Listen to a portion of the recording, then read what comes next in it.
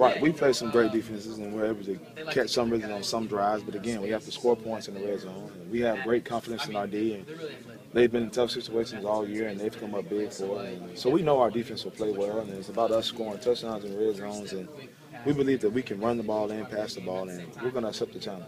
How many uh, friends and family are expected in the stadium tomorrow? Uh, 40 plus, 40 plus friends and family. Right. Excellent. Thanks, Steve.